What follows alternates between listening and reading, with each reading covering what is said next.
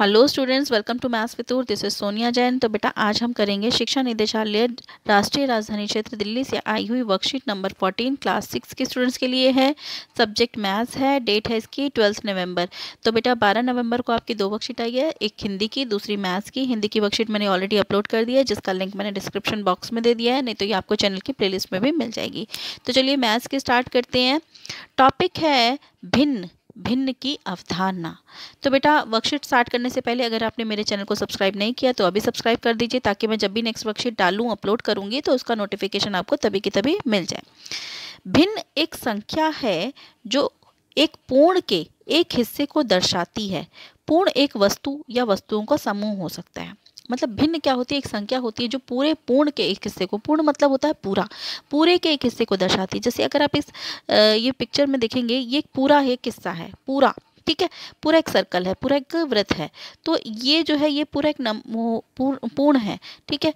तो अब इसमें अगली पिक्चर में आप देखेंगे एक, ये जो वृत्त बने हुए हैं, ठीक है, इसमें चार चार हिस्से हैं, ठीक है, एक, दो, तीन, चार, एक, दो, तीन, चार, एक, दो, तीन, चार, सब में चार चार हिस्से हैं, ठीक है तो ये समूह हो सकता है वस्तुओं का या एक पूरे हिस्से को दर्शा सकता है, ठीक है तो अब आपको जब भी भिन्न लिखना होता है तो भिन्न में हम कैसे लिखते हैं, जैसे कि अब मान लीजिए पाँच बटा सात लिखा है तो ये जो पाँच होता है ना बेटा, ये पाँच को हम कहते हैं अंश, क्या कहते हैं? अंश। और इस सात को कहते हैं हम हर। तो अंश बटा हर इस तरीके से लिखते हैं। अब ये हम कैसे लिखते हैं? देखिए, अब जैसे यहाँ आपने जैसे देखा कि ये इस व्रत में चार हिस्से बने हुए एक, दो, तीन, चार। लेकिन इस चीज़ का ध्यान रखते हैं कि ये जो जितने भी भाग हैं, ये सब बराबर होंगे। आप इसमें देखिए, ये बराबर भाग हैं, इसमें चार भाग हैं तो ये भी चारों बराबर हैं, इसमें भी चारों बराबर हैं। तो जितने भाग होंगे, वो सारे बराबर होने चाहिए। चाहे वो चार हों, चाहे वो पाँच हो, चाहे वो छः हों, जितने भी हों या दो हों, ठीक है, वो बराबर होने चाहिए। अब देखो, टोटल कितने भाग हैं इसमें? चार भाग हैं। तो जितने भी टोटल होते हैं, वो हमेशा हम नीचे लिखते हैं, यानी कि हर में लिखते हैं। और जो शेडिड पोर्शन होता है मतलब जितना ये शेड किया हुआ है ना तो ये कितना पोर्शन शेडिड है? ये एक भाग शेडिड है तो इसका हम लिख देंगे एक, ठीक है? तो उत्तर आ जाएगा हमारा एक बटा चार। इसी तरीके से दूसरा देखते हैं। इसमें भी चार भाग है तो टोटल कितने हैं? चार हैं। कितने शेडिड है? दो शेडिड है तो ऊपर दो लिख दिया। तो अब इसे हम काट देंगे। दो एक कम दो दो दूनी चार तो उत्तर आ गया हमारा एक बटा दो, ठीक है? अब अगला देखते हैं, इसमें कितने हैं? एक, दो, तीन, चार टोटल कितने हैं? चार हैं और शेडेड कितने हैं? तीन हैं। तो तीन बटा चार। तो ये होता है हमारा भिन्न। ठीक है? भिन्न में क्या होता है? अंश बटा हर, ठीक है?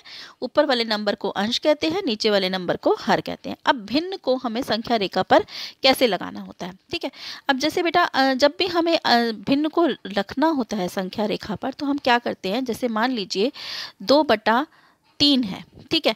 तो एक चीज़ का ध्यान रखना, जब भी आपका अंश हर से छोटा होगा तो वो ज़ीरो से एक के बीच में आएगा, ठीक है? मैंने क्या बोला? जब भी आपका अंश हर से छोटा होगा तो वो जो भी नंबर लाइन बनेगी, वो ज़ीरो से एक के बीच में आ जाएगा। ठीक है? वो बिन ज़ीरो से एक के बीच में आएगा। जैसे कि आप ये देखिए, एक बटा दो। ठीक है? अगर मान लीजिए मुझे एक बटा दो संख्या रेखा पे लगाना है तो टोटल कितने भाग हुए? दो भाग हुए। तो ज़ीरो से एक के बीच में मैं दो भाग बनाऊँगी। एक, दो। ठीक है? क्यों? देखो, दो बटा दो, यानी कि ये तो कट के एक ही आ जाएगा। ठीक है?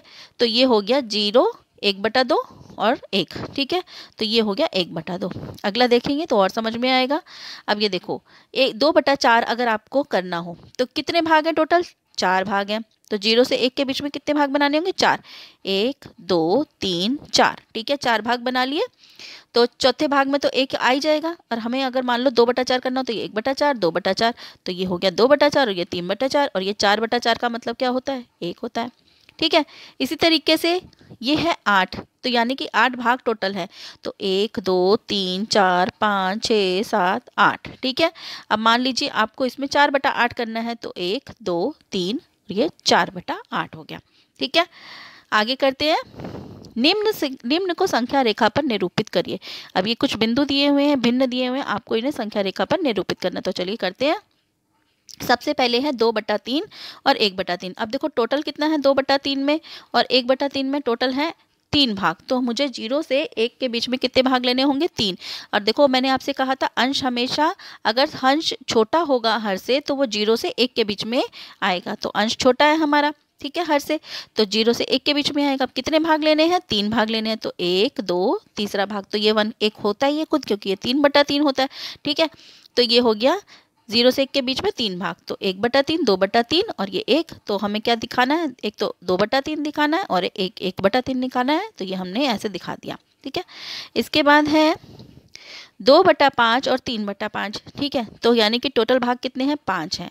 तो हम ज़ीरो से एक के बीच में पाँच भाग ले लेंगे। एक, दो, तीन, चार और ये पाँचवा तो एक खुद ही होता है, ठीक है? उसके बाद एक बटा पाँच, दो बटा पाँच, तीन बटा पाँच, चार बटा पाँच और एक, ठीक है? और कितना दिखाना है? दो बटा पाँच को सर्कल लगा देंगे और तीन बटा पाँच को भी सर्कल लगा देंगे, ठीक है? तो ये हमारा दो बटा पाँच और तीन बटा पाँच हो गया। इसके बाद एक बटा छः और पाँच बटा छः तो एक बटा छः यानी कि टोटल कितने हैं? छः पार्ट्स तो एक, दो, तीन, चार, पाँच, छः, छठा पार्ट तो खुद एक ही होगा और उसमें हमें क्या दिखाना है? एक बटा छः तो ये एक बटा छः और ये हो गया पाँच बटा छः। अगला है तीन बटा सात और छः बटा सात। तो टोटल भाग कितने हो गए? सात भाग हो गए। तो एक, दो, तीन, चार, पाँच छः सात। सातवां भाग खुद एक होता है, ठीक है? अब इसमें हमें क्या दिखाना? है तीन बटा सात। तो ये एक बटा सात, दो बटा सात, तीन बटा सात, चार बटा सात, पाँच बटा सात छः बटा सात और ये एक है, ठीक है?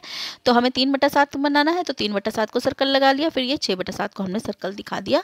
सर्कल लगा दिया तो ये हमारे ये जो संख्या रेखा हो गई, इस पर हमने ये भिन्न दिखा दिए हैं। ठीक है बेटा?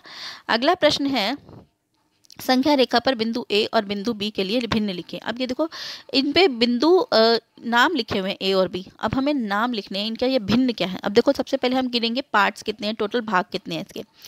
एक ज़ीरो से एक के बीच में, दो, तीन, चार, पाँच छः टोटल छः भाग है, क्योंकि छठे भाग में तो एक लिखा है तो टोटल कितना हुआ?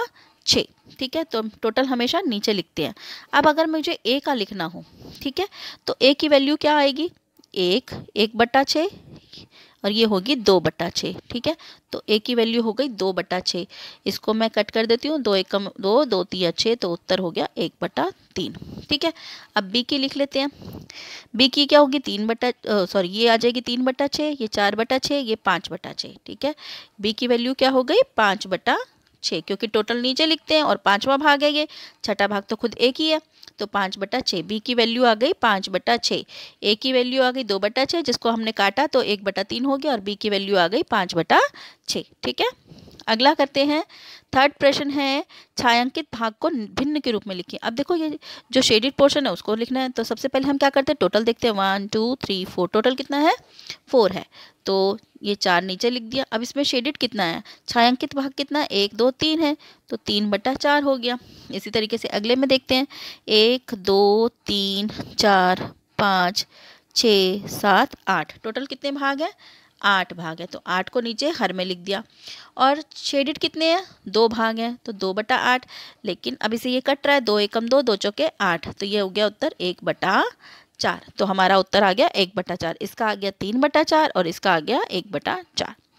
अगला प्रश्न है, निम्नलिखित भिन्न संख्याओं को किसी भी ज्यामितीय आकृति द्वारा छायांकित द्वारा दर्शाएँ। तो अब क्या करना है हमें?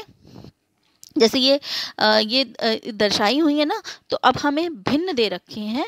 अब हमें इस तरीके से ये बनानी है, छायांकित करके दर्शाना है, ठीक है? जामित्रीय जामितीय आकृति बनानी है। तो अब कैसे बनाएँगे? जैसे तीन बटा चार, टोटल कितने हैं? चार। तो अब जैसे मैं एक ये बना लेती हूँ, स्क्वायर बना लेती हूँ, इसके चार पार्ट कर देती हूँ, ठीक है? चार भाग कर दिए, अब मुझे शेड कितने करने हैं? तीन भाग। तो एक, दो, तीन भाग शेड कर दिए। तो ये हो गया तीन बटा चार, ठीक है? अब दूसरा है तीन बटा पाँच तो मैं पाँच भाग बना लेती हूँ। किसी इस तरीके से बना लेती हूँ। एक, दो, तीन, चार और एक और बना लेते हैं पाँच। एक, दो, तीन, चार, पाँच हो गए। और कितने भागों में करना है? तीन भागों में। तो मैं इसके तीन भागों में शेडेड कर दूँगी, ठीक है? तो ये हो गया तीन बटा पाँच, ठीक है बेटा? अगला देखते हैं, दो बटा छः। दो बटा छः का मतलब क्या हुआ?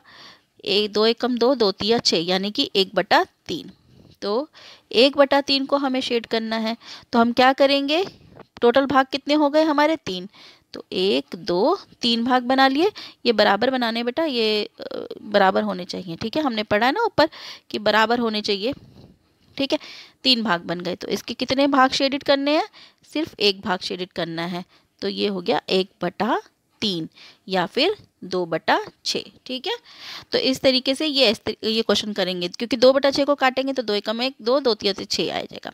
तो आप जो जामितीय आकृति बनाएँगे वो कोई भी बना सकते हैं। ज़रूरी नहीं कि आपको स्क्वायर या इस तरीके से बनाना है, आप सर्कल भी बना सकते हैं। सर्कल में अब जैसे चार भाग है तो आप चार भाग कर लीजिए। और इसके कितने करने हैं शेडेड तीन भाग करने हैं तो इसके तीन भाग शेडेड कर लीजिए। ठीक है? आप इस तरीके से कोई भी जामितीय आकृति बना सकते हैं। तो बेटा इस तरीके से यहाँ पर हमारी वर्कशीट कंप्लीट होती है। अगर आपको मेरे वीडियोज़ अच्छे लगते हैं तो प्लीज़ उन्हें लाइक कीजिए शेयर कीजिए, मेरे चैनल को सब्सक्राइब कीजिए। So stay tune for more videos till then bye